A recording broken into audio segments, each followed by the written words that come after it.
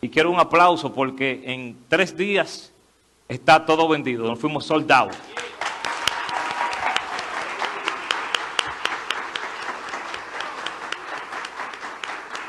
No hay, señores, para los locales, para abastecer la demanda, no hay.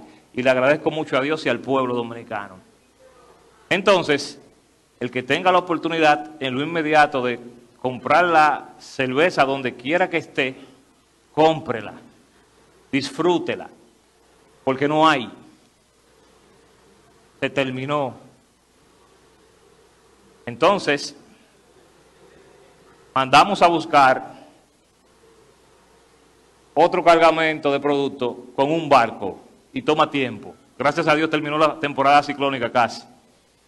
Y estamos previstos a tener mucha república dentro de cuatro semanas. Por lo tanto, le invito al público a consumir cerveza presidente en lo que llega República la tuya.